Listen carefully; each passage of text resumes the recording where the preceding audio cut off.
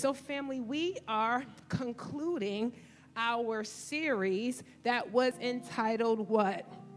Wonder Bread, Wonder Bread. And as we've been traveling through here at Truth City, uh, God prophetically declared that this was the year of access uh, for our church. And God actually wanted to use the Old Testament tabernacle um, as a guide to show us the various ways uh, that He gives access and actually how to properly steward that access all at the same time. And so we've been in this Wonder Bread series that is connected to uh, the first element, if you will, that's in the inner court of the tabernacle, which is called the table of shewbread. And that one of the elements located there um, was an important element because that table, it actually consisted of 12 loaves of bread placed on the table as an offering to God, reminding us of three things. We should know it by now. One, his presence with us, his presence with us. Number two, his provision for us,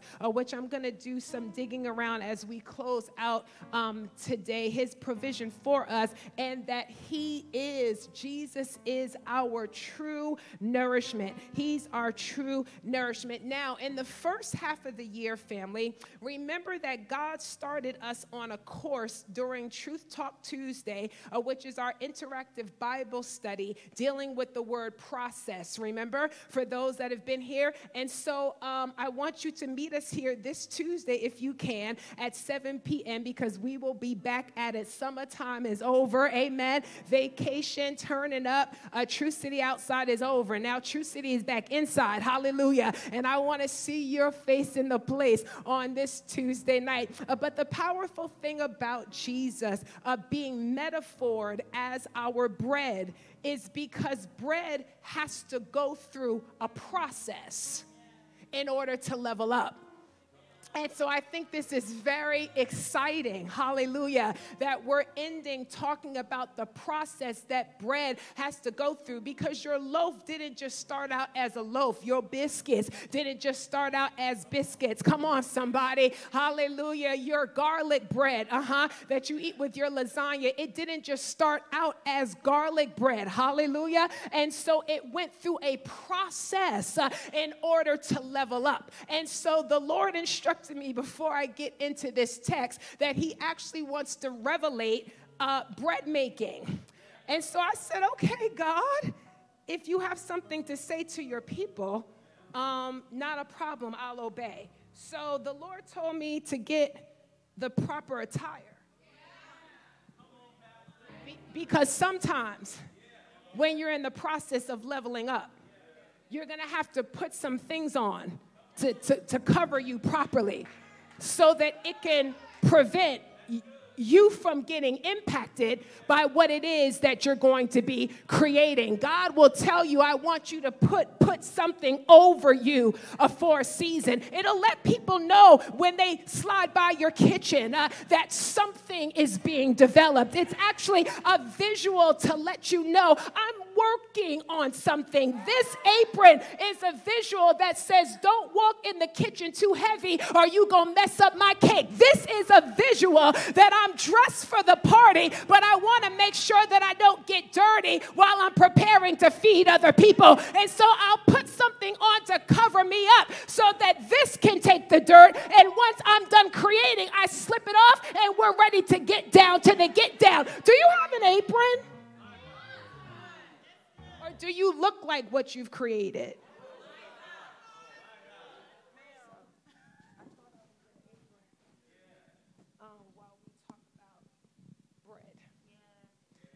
You ready?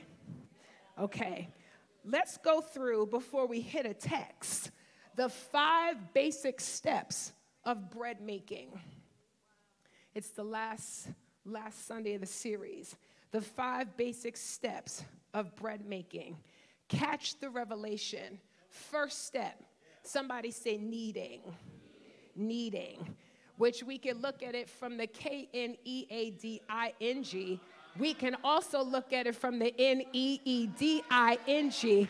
But we're going to leave the N E E D I N G alone, and we just going to say because we N E E D I N G, therefore we need to K N E I E A D I N G. Kneading, check this out, hear God, because then I'm going into my text. This can be done, kneading, in a mixer or it can be done by hand. Bakers prefer that it's done by hand.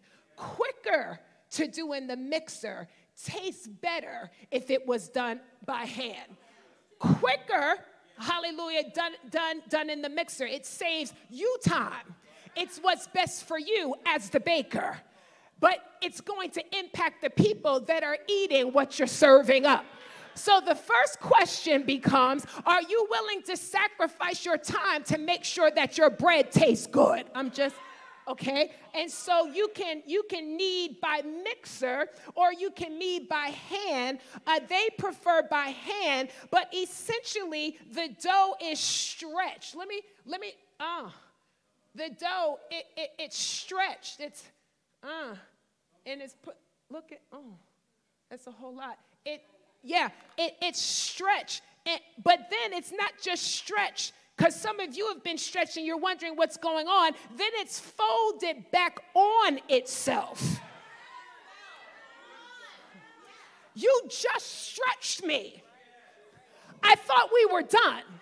Hey, why are you folding me back on myself after it is that you stretch me. But after the baker folds it back on itself, then it's flattened back out again. I, I thought I was going to rise immediately. No, you're stretched, uh, then you're folded back on yourself, uh, and then you're flattened. That series is repeated over and over again until the dough has changed from a soft you everything offends you.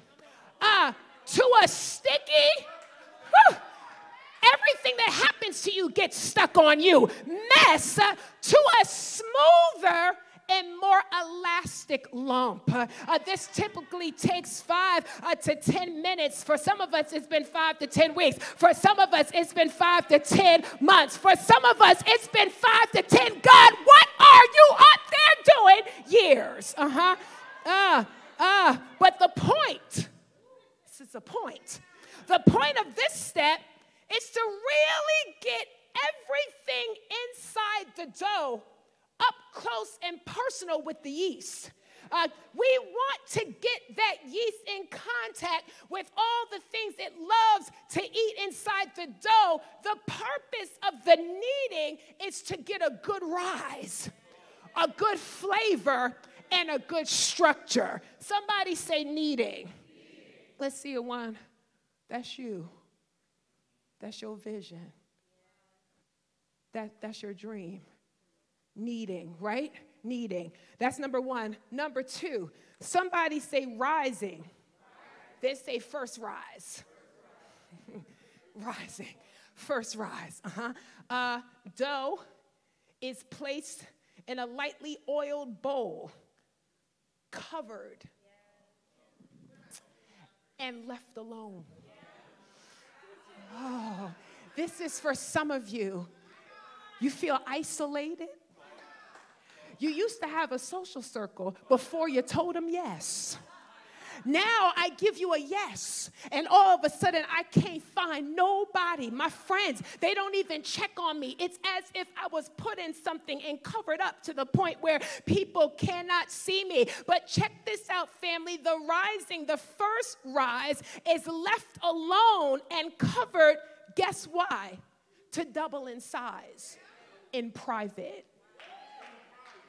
Ah, James, uh, this is where the baker says the real beauty of bread happens uh, uh, because the flavors uh, and a large part of what the final structure will be like happens during this covered isolated, nobody is checking for me stage. And sometimes because no one is around you, uh, because God has covered you. Uh, there's no one to say, Girl, uh, you look like you doubling. Girl, uh, you're looking good. And so, because you don't hear any verbal affirmation, uh, you're not aware of the fact that you're getting stronger. You're not aware of the fact that you're getting taller. You're not aware of the fact that God is expanding you. And this process of family, it typically takes a very long time, family. And that's the reason why a large part of the final structure will be what happens during this time. Let me show you uh, what it looks. Look at that. That ain't nothing. It's, it's, but really quickly, can you see it move?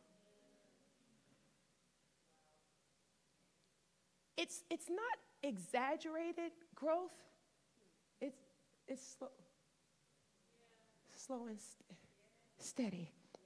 This step takes quite some time to complete, and many recipes and methods, watch this, have been developed to speed this process along. We want everything quick.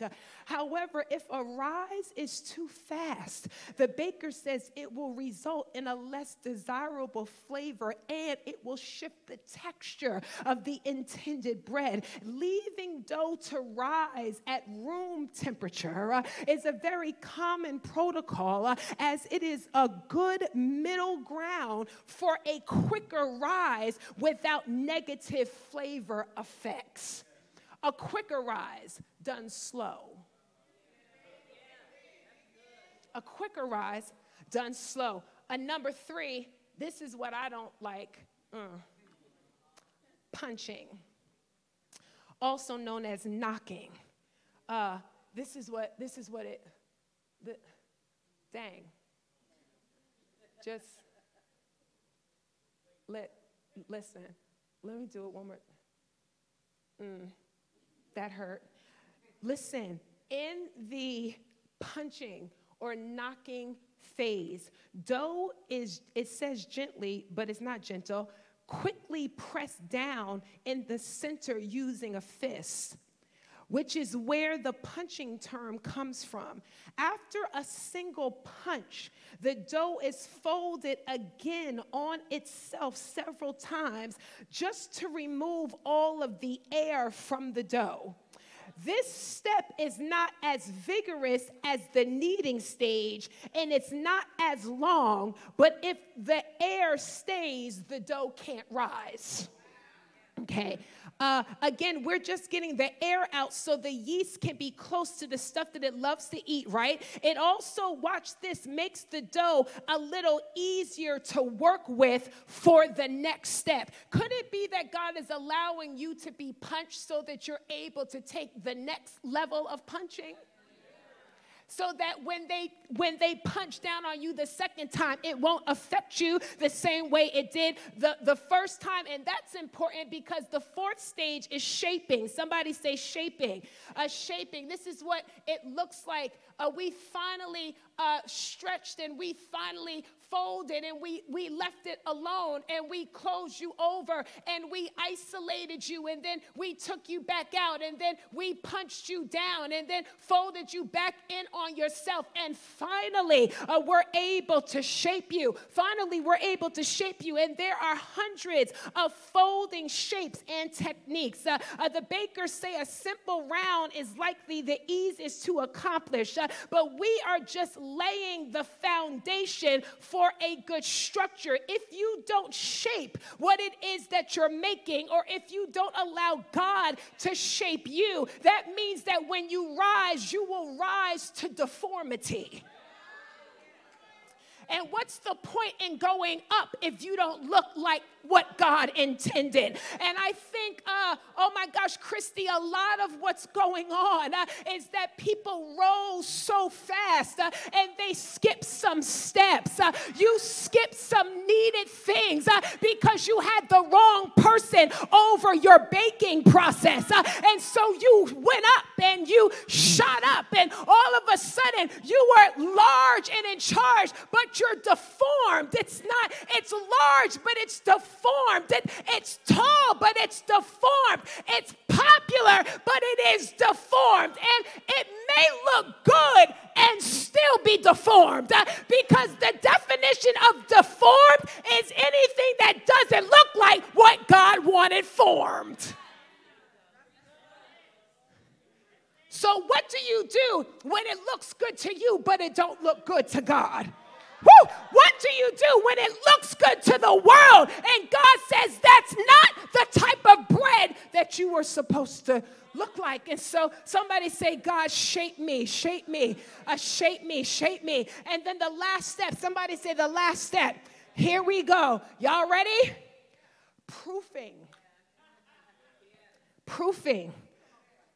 Proof. Proof. A faith that hasn't been tested can't be trusted.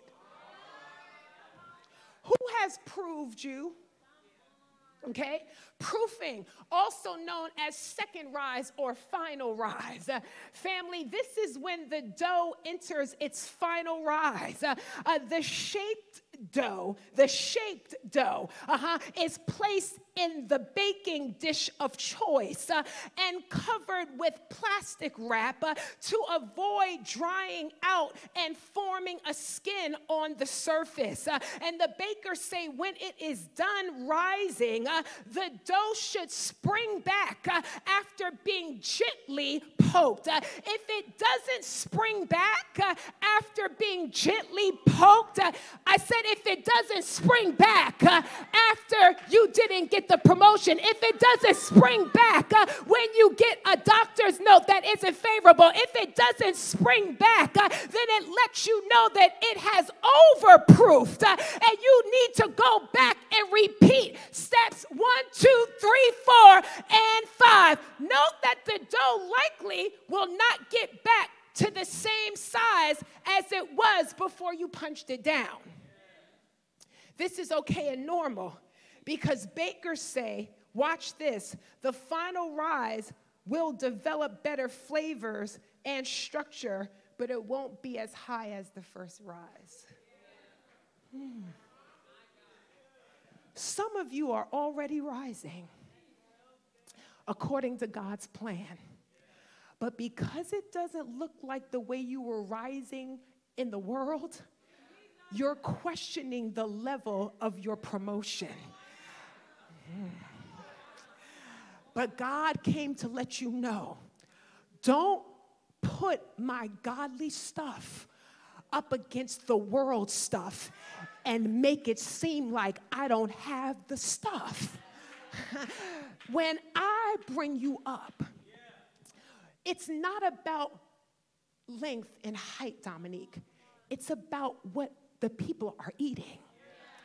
And when the bread is good, it's not just you that will be nourished, but all the other people that will be able to rise as a result. And I would rather have a thousand of us on a level eight than me be on a level 10.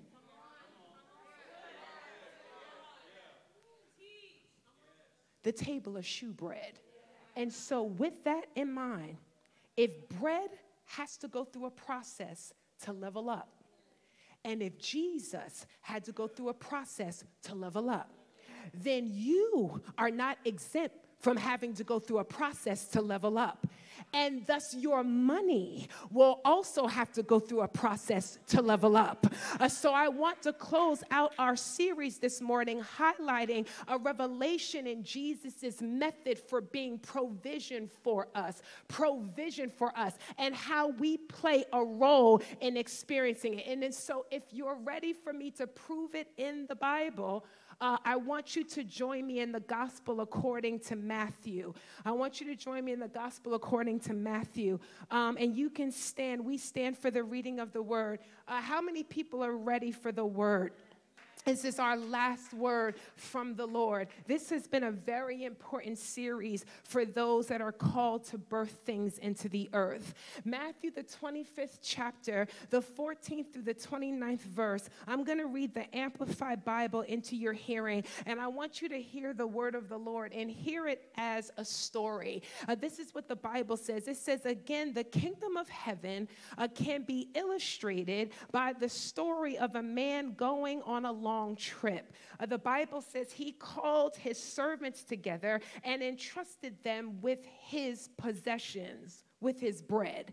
To one, he gave five loaves of bread, talents. To another, he gave two loaves of bread, talents, and to another he gave one loaf of bread, talent, each according to his own ability. Uh, and then he went on his journey. The one who had received the five talents, loaves of bread, went at once and traded with them, and he made a profit and gained five more. And the Bible says, likewise, the one who had two uh, went right to work, made a profit, and gained two more. But the one who had received the one uh, went and dug a hole in the ground and hid his master master's money. Now, after a long time, the master of those servants returned and settled accounts with them. And the story goes that one, uh, the one who had received the five talents, came and brought him five more, saying, Master, you entrusted uh, to me five loaves of bread, and see, I have made a profit and gained five more. His master said to him, Well done, good and faithful servant. You have been faithful and trustworthy over a little. And so so I will put you in charge of many things. Somebody say access.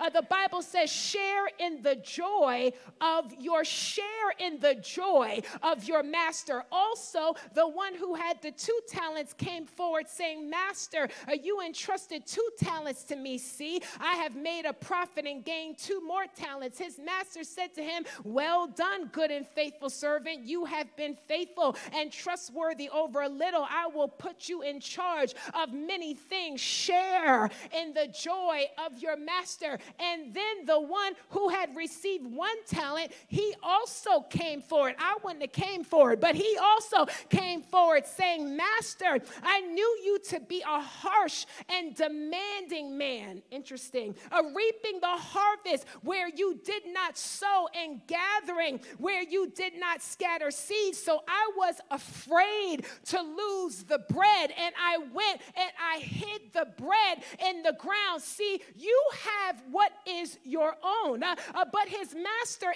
answered him, You wicked, lazy servant.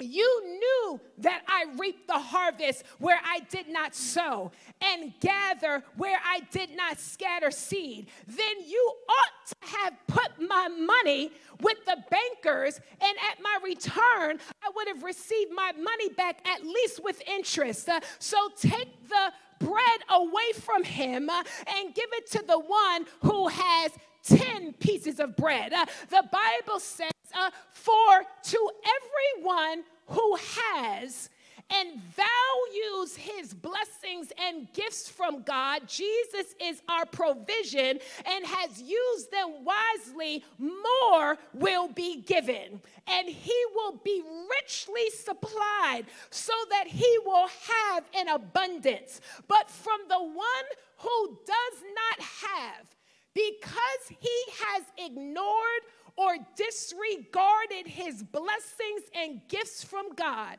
even what he does have will be taken away. This morning, as we close this series, Wonder Bread, I want to talk from this thought get your bread up. You can have your seat in the presence of the Lord. Get your, get your bread up. Get your bread up. A family, listen, kingdom access uh, at its essence, can simply be described as God's lease agreement with man, right? That you can lease a home. We're circling back around to this. You can lease a car or you can lease an office space.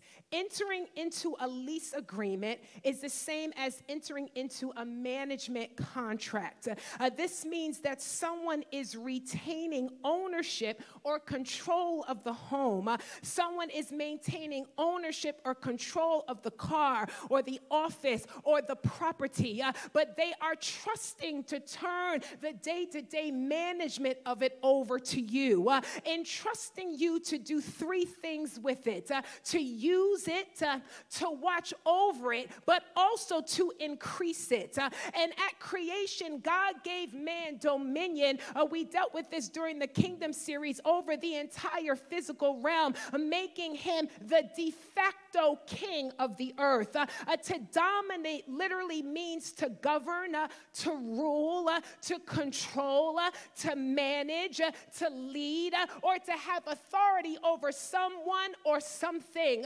but there is a very important distinction here, family, that God gave us rulership of the earth, but He didn't give us ownership. that someone who gives up ownership to another person also surrenders responsibility for it. Uh, uh, but with our divine lease agreement, uh, God says, I'll let you rule over it uh, and I'll let you enjoy it uh, while I still carry the ultimate weight of responsibility for it. Uh, our lease agreement didn't begin in the book of Matthew, it began in the book of beginnings when God set up a specific qualifying understanding with the first humans that were breaking bread. Uh, he told Adam, uh, listen, Genesis 2 15 through 17, God took the man and set him down in the Garden of Eden to work the ground and keep it in order. The Bible says, as long as you obey me, and do not eat the fruit of the tree at the center of the garden, you can manage this planet all you want for as long as you want, it's yours. There was no death at this point. Because the Bible says you can manage this entire planet all you want for as long as you want it's yours. Uh, the Bible is very clear that the earth belongs to the Lord, right? Because Psalm 24 and 1, it says the earth is the Lord's uh, and everything in it, uh, the world uh, and all who live in it. Uh, I have a quick question. Uh, has God given you everything but told you not to do one thing? and did you do the one thing that has now caused somebody to have to come in and, and, and straighten everything out? Is it not enough for you to have everything if you can't have that thing?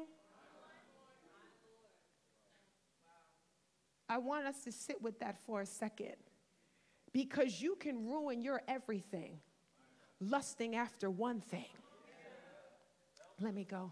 Uh uh-uh. uh You can ruin your everything lusting after the one thing that God says, don't touch that. And the enemy will make you think that because you can't touch that, that you don't have everything. but Calvin, he had everything. You just couldn't touch that thing. You still had dominion over that thing. Are y'all hearing? Just because you can't engage it, I just try to do simple like that, the way you want to, doesn't mean, do you understand what I'm saying? That you don't have dominion over it. And the enemy is so tricky that you will be standing in the middle of everything, and all you can do is look at that tree. You think about it, you dream about it, you lust over it. And while it's enticing to you only because it has a boundary, Deandra Judge, if that tree was available, Adam wouldn't have been thinking about that tree. They're not that cute. It's just they're married. Some of us like married. Thank you. Duchesne said, You're right. Thank you. Human beings are wired to want what we cannot have. And God comes to give you a revelation access. You already have everything. And you do not want to give up everything, lusting after one thing just because God says, I'm trying to protect you. It is the owner of the house saying, You don't need to worry about this. This is above your pay grade. There are things that will come into the earth if you do this that you won't be able to put this back to bed. The reason why you need to read the Song of uh, Solomon, the Songs of Solomon, it is like a pornographic something. You need to read that thing. The lusciousness, it is very graphic. And in the Song of Solomon, read the Bible, six, all 66 books. In the Song of Solomon, Tiana, it says this Don't you wake up a lion because you'll be hard pressed to get it back to sleep. That's what the Bible says. The Bible didn't say there was something wrong with lions. The Bible said if you're not a lion tamer, that if you wake it up, you'll be hard pressed to get it to go back to bed. And so, uh, God, somebody's going to get out of an adulterous relationship uh, tomorrow on Labor Day. Uh, God owns the earth. In an adulterous relationship, Kalana, believing for a husband. Lord, bring my man. You got to let go of that man first. God, that was for somebody. It's not anybody in here, it's somebody watching because we all saved in here. But if the Lord is talking to you across the internet, receive it. Let that thing go. God has something for you. And you can be with it at night. It doesn't have to go home to its family. You can walk around with it and hold hands in the daylight. That was for somebody. Send me an email because God has something for you. He is a forgiving God. As soon as you let that go and repent, it will be as far as the east is from the west. I don't know what God is doing right now, but I'm telling you what, listen to me. God has something for you. So God owns the earth. But we must give to God, the owner, an accord and counting of what we do with what He's entrusted to us. He will judge us according to how well we manage His bread. Uh, but the first question that we have to wrestle with this morning is whether we even view what we've been given as God's in the first place. Uh, could it be that the first reason why you can't get your bread up uh, is because you think it's your bread? That, that, that's the first reason why you're in lack. Because the little bit you have, you think it's yours. Oh my gosh. Uh, how, how, would you manage what you currently possess if I told you that it was God's possession? Uh, uh, because God says, uh, uh, this is what He, oh, am I the right thing? This is what God says. Take this down as a note. Has the lens of this is mine prevented me from getting mine? Has your lens of this is mine prevented me from getting mine. See, God is coming for the root of your thinking around money and possessions uh, uh, to show you, family, a revelation uh, that God wants to increase your harvest, uh, uh, but uh, oh gosh, in order for him to do that, you have to accept uh, that he uh, is the truth. Uh, you may run it, but you don't own it.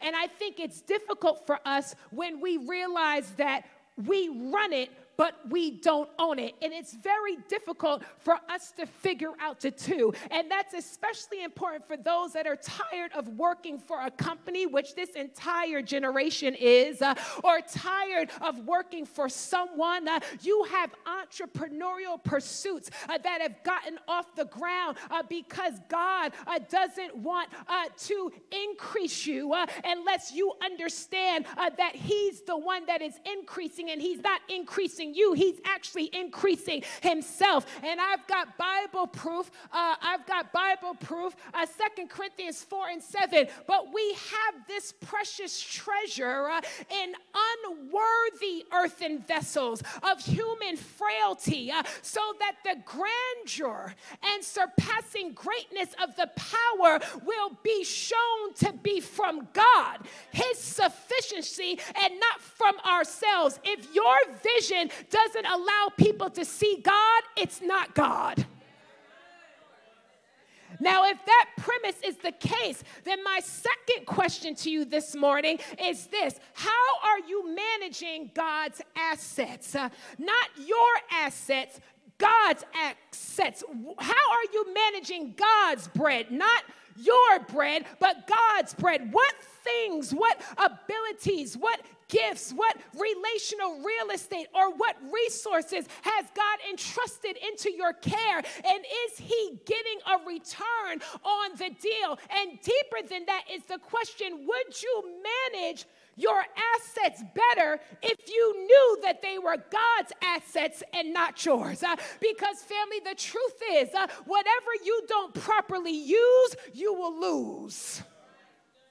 And because everything pertaining to life can be found in the 66 books of the Bible, here it is, right in the 25th chapter of the Gospel according to Matthew, uh, that we find a biblical lease agreement uh, that provides the cheat code uh, of how to get your bread up. Uh, uh, when Jesus wanted to explain what the kingdom was like, uh, he chose to teach it by way of contract management through his parable about a man who entrusted a sum of money, which ironically the coin exchange of that day was called talents uh, to each of his three servants. And then he went on a long journey. What if I told you, family, uh, that your money is locked up within your talent?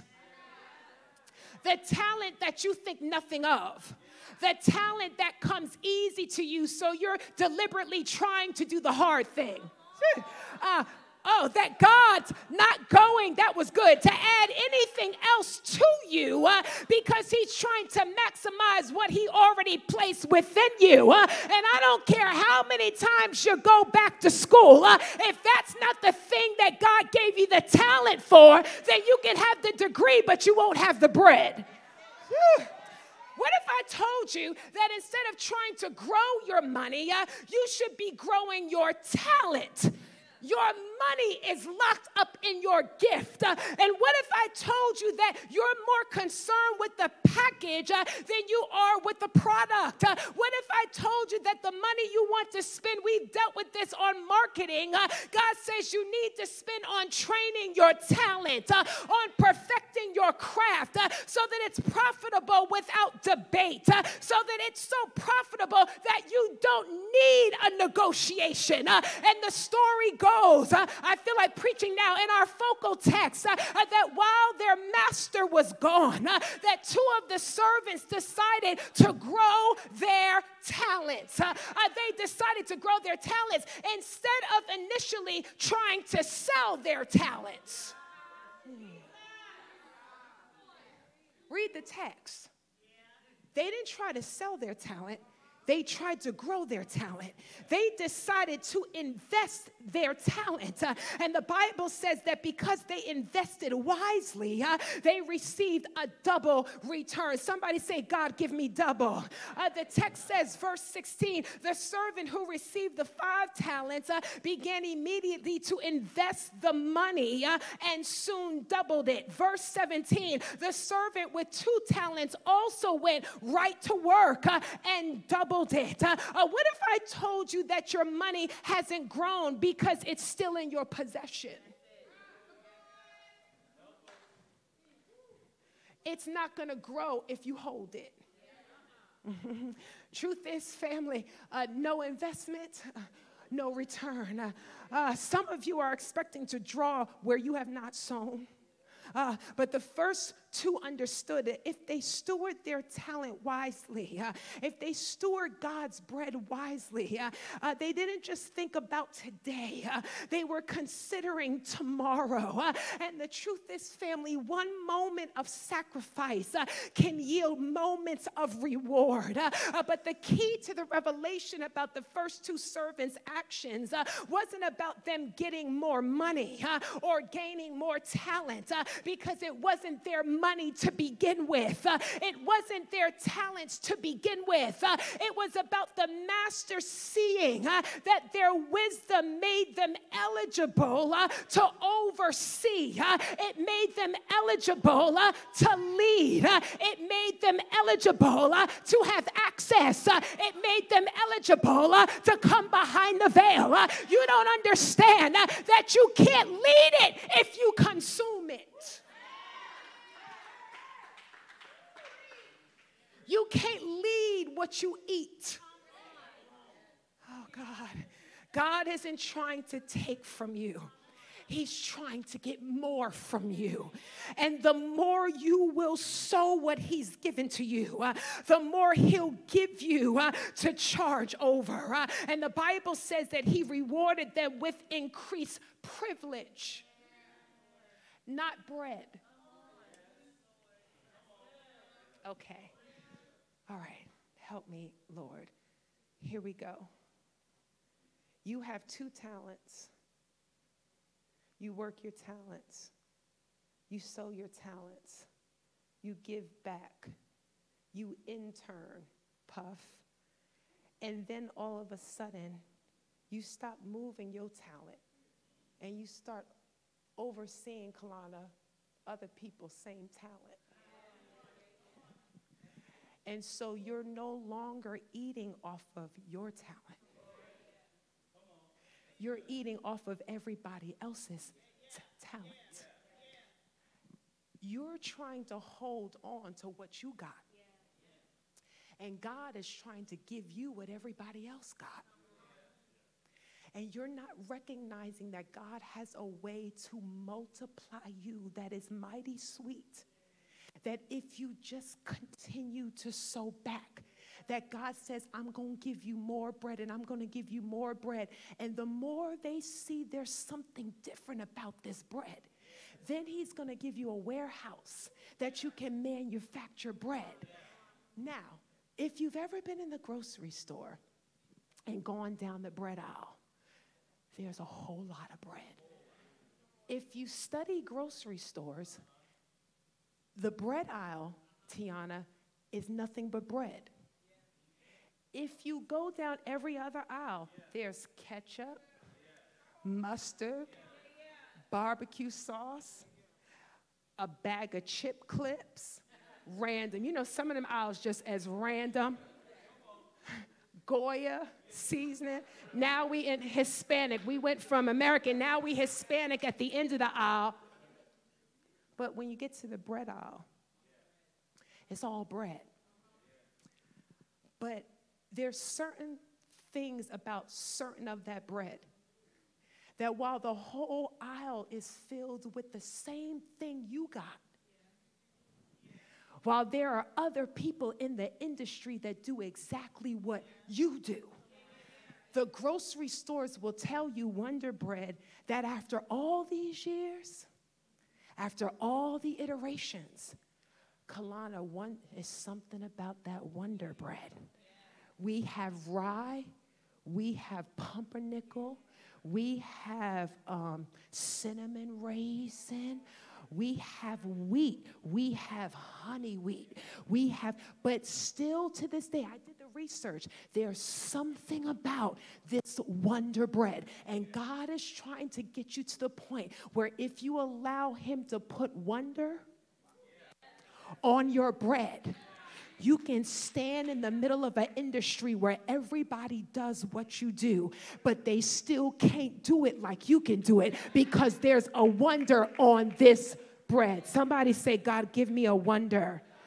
Family, listen. The Bible says he rewarded them with increased privilege, but also increased responsibility. Now, I want to deal with those that sabotage their future. okay? This is the end of the series. You know what's coming on the other side.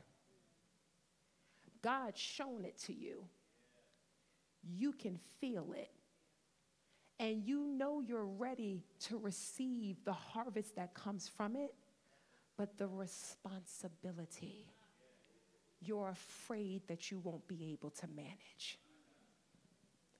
And so you sabotage. It's the same thing that high school seniors do when it gets closer to graduation. They've partied all year, excited, right, Calvin, about graduating. Then, Dominique, in the fourth quarter of senior year, Calvin's like, they start failing their classes. They start acting out in the room and getting sent to detention because though they're ready to get out of their parents' house and though I can't wait to go to college, I mean, I took a tour there. I've already seen the campus. I know what my dorm room's gonna look like, and I actually started decorating. But the thought that I'll have to take care of myself. I want my freedom, but my freedom comes with responsibility. And so you're not waiting on God to give you permission to go to the next level. What you're waiting on is getting your mind to accept the responsibility that's going to come with this level. Because remember, it's not more bread, it's more bread oversight. But, family, the truth is, the height of your bread is directly connected to the height of your discipline. That's why you're in lack. You don't need more money, you need discipline for the money that you do have. And God is not gonna give you more when you don't know how to manage what you have right now. The height of your bread is directly connected to the height of your discipline. Listen to this uh, Luke 12 and 48, the B clause. When someone has been given much, much will be required in return. And when someone has been entrusted with much, even more will be required. God isn't just looking for profitability, He's looking for responsibility. And the message translation of Luke 12 and 48 says it this way uh, it says it this way, family. It says, Great gifts mean great responsibilities. This is the Bible message greater gifts greater responsibilities. People who are wealthy may not be smarter or even more gifted than you, but the Bible guarantees that they are more responsible than you. In the kingdom of God, why you want what you want matters. Uh, your motivation, motives matter. Uh, why? Because motive drives decision. Uh, and God says that if your motives are centered on you uh, and not on me, uh, then you will decide to do your thing with my stuff. So when we look at kingdom access, God asks, Do you want to steward all of my stuff? Or do you want to make my stuff your stuff? Because watch this if you humble yourself enough to remember that it's God's stuff, he says, I will retain the ultimate weight of it and the ultimate guard over it. Translation, you get to experience it while I pay for it. Translation, you get to have it while I cover the tab. Uh, family, the text says, I'm almost done. Matthew 25. Now, after a long time, the master of those servants returned, right, to settle the accounts. You remember the story. Uh, and he dealt with all of them the one with the five and the one uh, with the two. Uh, and we go on to see that the story says to one he gave five, and another he, he gave two according uh, to his own ability. Uh, but I want to uh, fast forward um, a couple of places because I want to get to the one who spoke up so loudly. Um, let's see. Let me see if I can find it, family. Um, gosh. It's the one, Lord, that says the one who had received one talent. Do you see that? Can you put that up for me? Okay. Okay, here we go.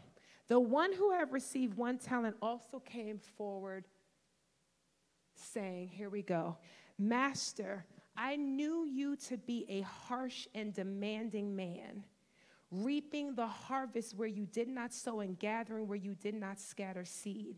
So I was afraid to lose the talent, and I went and hid your talent in the ground. See, you have what is your own.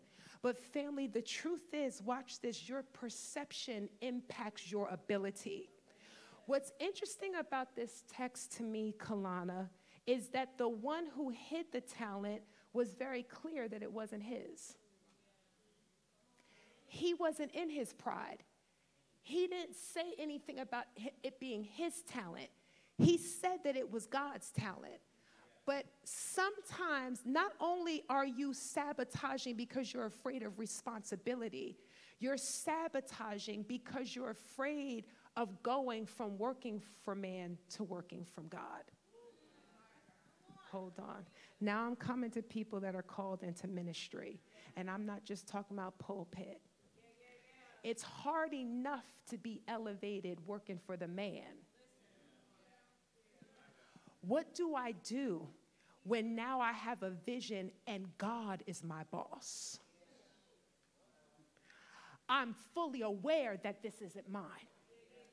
I'm clear that this is his that these are his people and I'm so clear that I don't want to mess this up. So, because I don't want to mess up his stuff, I won't steward his stuff. I will hide it away. I will make it secure. I'll look over it, but I won't grow it.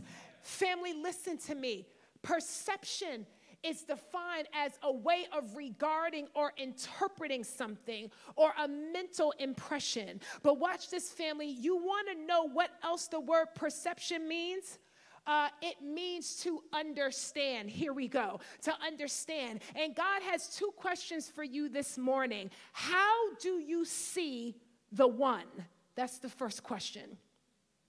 Not just the one dollar, the one contract, the one customer, the one client, the one member, the one volunteer, the one staff. But God wants to ask you this How do you see him? Do you see him as a taskmaster that if you mess up, that he'll take everything away from you? Do you see him as a God who will punish you if you mishandle something just because you made a mistake? Right? Matthew 25, this is what it said. The servant given 1,000 said, Master, I know you have high standards. This is the same text, message translation and you hate careless ways. I know that you demand the best and you make no allowances for error. I was afraid I might disappoint you. So I found a good hiding place and secured your money.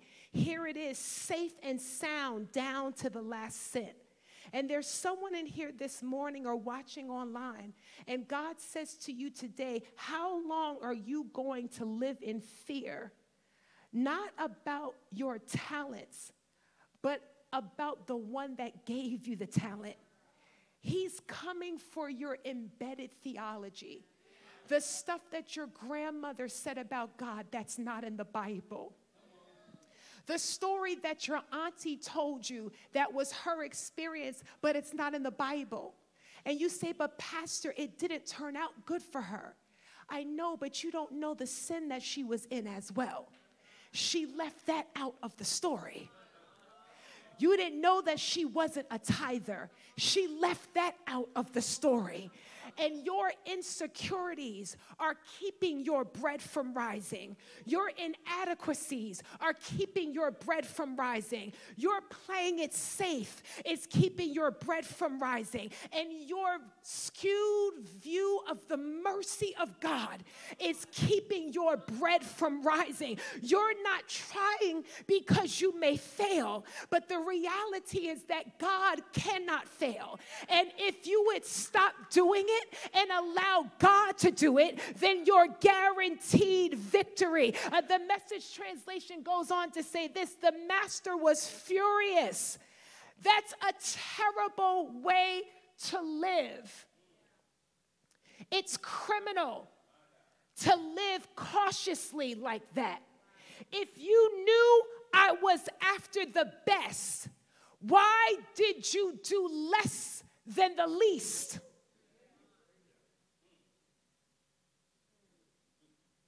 The least you could have done would have been to invest the sum with the bankers, where at least I would have gotten a little bit of interest.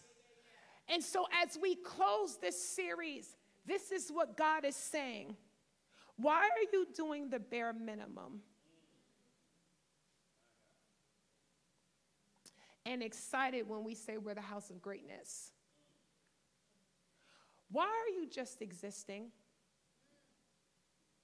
when the whole world is your oyster? Why are you just showing up when you can lead? Why are you scared of what I showed you as opposed to trusting that I'm able to perform it? God's first question was, How do you see the one? But his last question is this How do you see the one who, again, gave you the one? If you can't see your one talent clearly, then you're not going to be able to see God clearly. And Romans 5 and 19 says this For as by one man's disobedience many were made sinners, but so by the obedience of one shall many be made righteous. God comes to you today and says, I can do something with one. And you're waiting to multiply and God says, if you would just give me your one gift, your one talent, your one ability. I know you have friends that are multi gifted, but God says, I can do more with your one gift than they can do with the 10 gifts that they have that they're doing on their own. And so I want to prophesy vision multiplication over you today that you can believe that God doesn't need two to multiply. I prophesy that your eyes will become open at this very moment to see that God is able to breathe on your one attempt. That God is a multiplying God. Anything you sow to Him or for Him, it cannot remain in the condition that you sowed it it must expand, it must stretch, it must double. And God said it must supply. God is a multiplying God. And He came to tell somebody if you work it, I'll multiply it. The multiplier fed 5,000 with two fish and five loaves of bread. The multiplier took one man and saved the entire world. The multiplier took the woman at the well and evangelized all of Samaria. The multiplier took a trembling Esther and saved all of her people. The multiplier took a Joshua who was young and missing the father of faith. And God says, No, everywhere your feet will tread, I will give it to you. God comes to you and says what he said to Joshua start walking. And just as I was with Moses, I will also be with you. God, you're not waiting on him.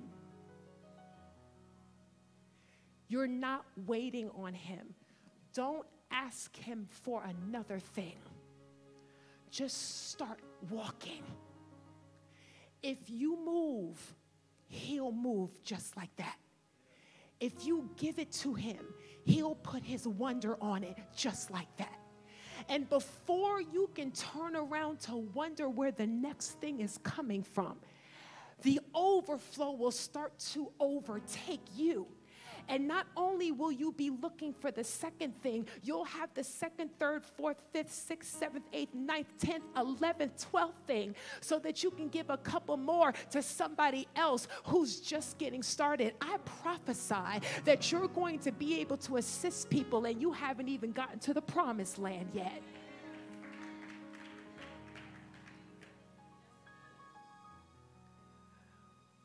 Don't have to stay in your current condition if you have a dream over your life.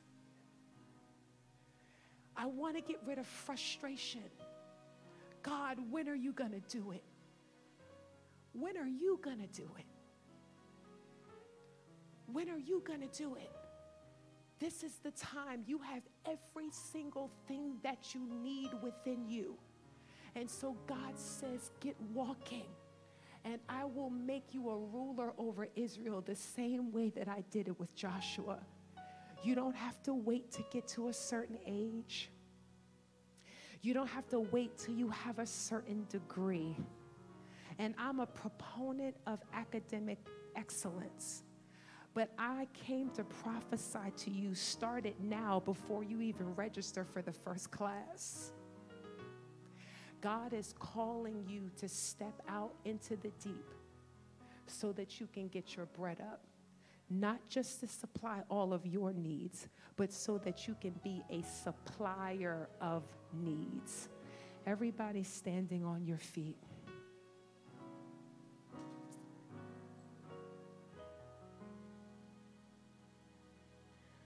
And so we're done. What is the one thing that you're sitting on? As the Lord's been speaking today, what is that, that one thing? You might have put it out a little bit, but you didn't do it full throttle. What is that one thing that you may have buried out of a lack of trust? What have you buried trying to hold on to one when if you'd work the one, you could oversee many? So we're going to release the one today. We're going to sow the one today. We're going to work the one today. I want to give you these scriptures. You'll see them in your Bible app, um, but I want you to hold on to them. Second Thessalonians says, If anyone is not willing to work, let him not eat.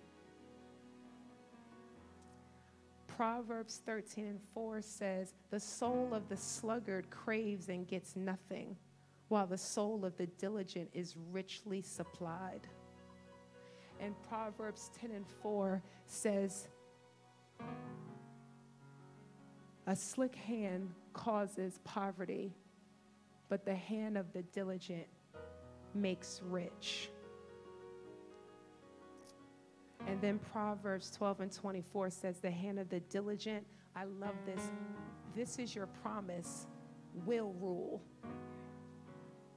while the slothful will be put to forced labor. So work the one. One idea, one invention, one concept, one design, one song, one book. Somebody say, work the one.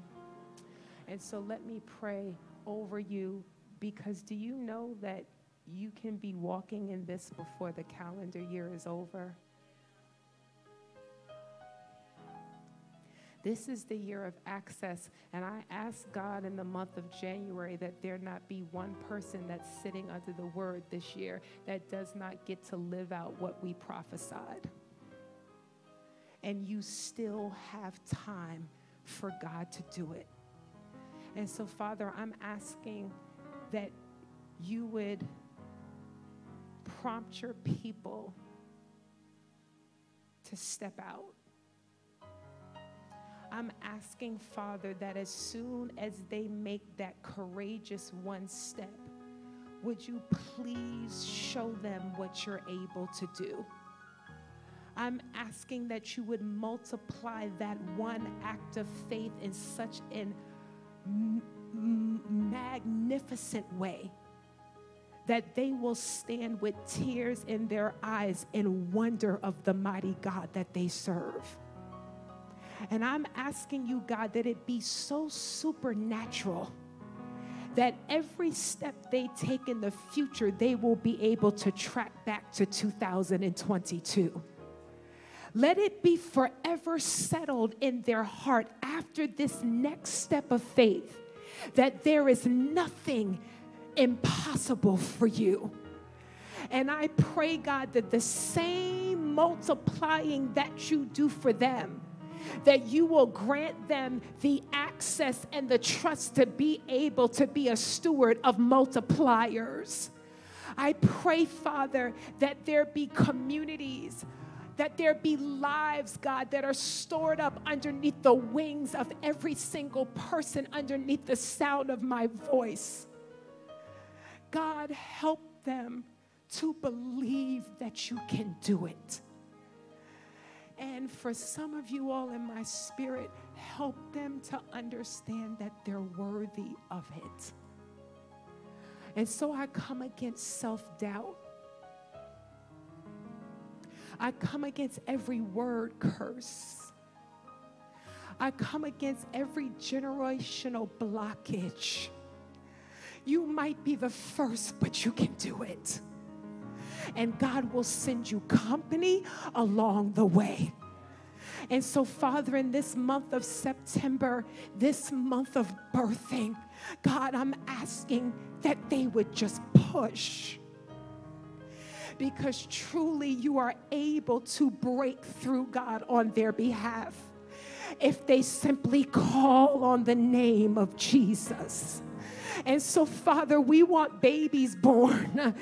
We want visions born. We want businesses born. We want new friendships born. We want relationships that give you glory born. We want ministries born. We want churches born. We want mission trips born. Father, we want businesses born. We want tech companies born. Father, we want schools born. There are principals in this room. Father,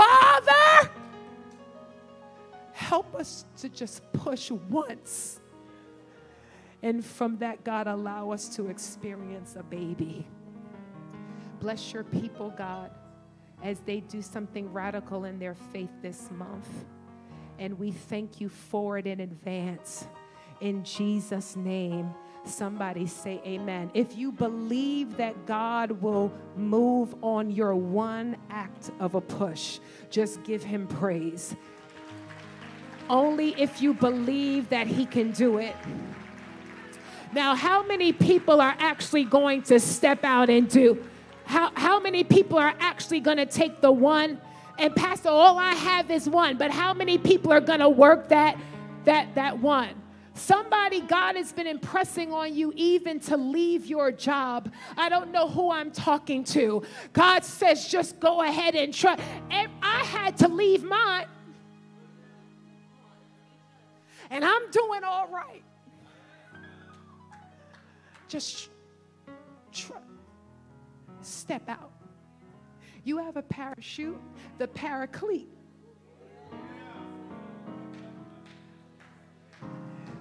You, pa- Pastor, I got bills. Pastor, I got responsibilities. I want to be wise. I want to be a good steward.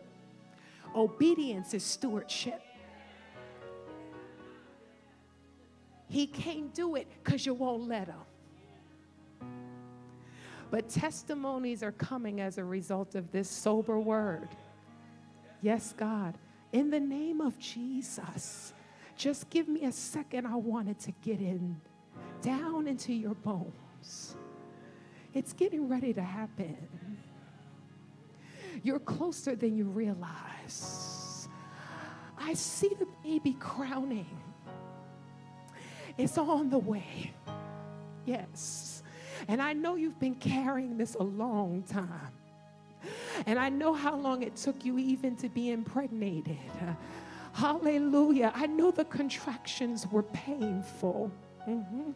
And you were uncomfortable in this last season. Uh, but God says that was all because you're about to give birth. Uh, hallelujah to God. And if you would just push one time.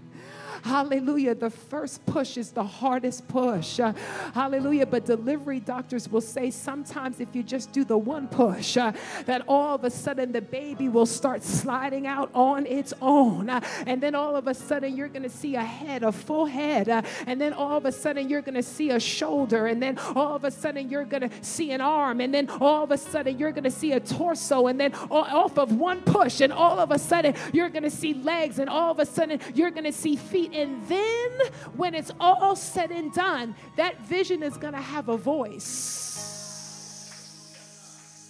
And you're going to hear what you've been seeing. This is for anybody that can catch it in the spirit. God is about to do it for you. He's no respecter of persons. And so step out.